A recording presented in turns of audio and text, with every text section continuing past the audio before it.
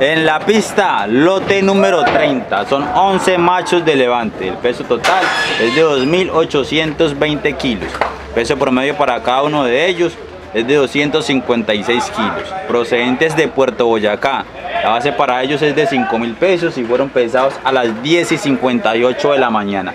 Lote número 30 tiene observación. Uno de los machos tiene miasis en el ombligo y otro presenta inflamación en el prepucio. 这儿。